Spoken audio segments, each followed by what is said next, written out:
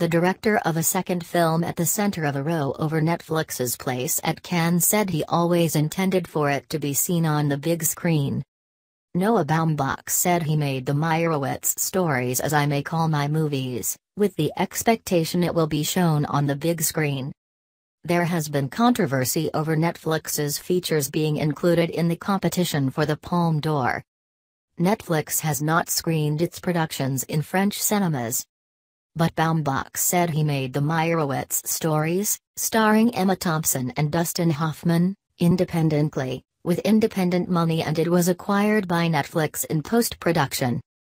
The family comedy drama, which features Ben Stiller and Adam Sandler as half-brothers reunited as they plan an exhibition for their sculptor father Harold, played by Hoffman, is his first to be shown at the French Film Festival.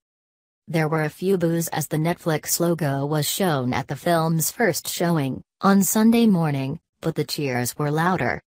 That was a marked difference from the reception given to Okja, the other film from the Netflix stable, which received loud boos during the opening credits, and both times round, as it had to be restarted due to technical issues.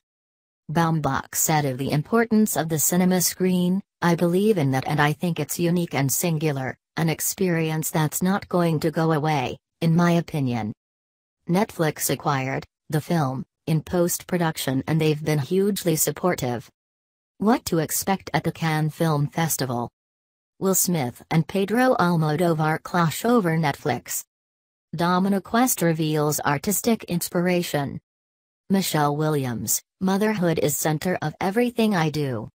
Cannes jury president Pedro Almodovar said last week that he could not imagine the Palme d'Or going to a film that had not received a cinema release, stressing the importance of the big screen.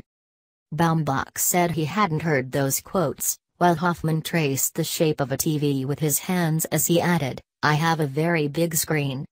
From next year, films will have to be released in French cinemas if they want to be considered. It was a high spirited news conference, with Rain Man star Hoffman asking a journalist for his side profile at one point, so he could see the shape of his nose, after the reporter said people had asked if he was related to the star. And when another said the film was interesting, he replied, That's not a good word. You didn't like it, did you? Stiller, who also played Hoffman's son in comedy Meet the Fockers, said how much he had enjoyed seeing his co stars' films when growing up.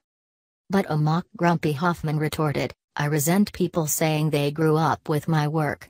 Everyone who's older than me, Please stand up. Even if anyone did fit that bill, no one got to their feet. Emma Thompson plays Harold's third wife Maureen, an alcoholic who wears beads and tie-dye tunics. She said of her role in the dysfunctional family drama, because I'm not from America, or that kind of family, it was a foreign country to me. I read it, and thought, I have no idea what's going to happen, but it's going to be fascinating. Thompson said she considered almost all of the characters to be suffering from shame, for a variety of reasons, Harold as he has not been as successful as some of his peers, his son Danny, Sandler, as he has no money and Matthew, Stiller, because he does have money. Everyone's ashamed, she mused. So many people feel that way all of the time. Our culture is built around this shaming thing. That's why I think it's so powerful.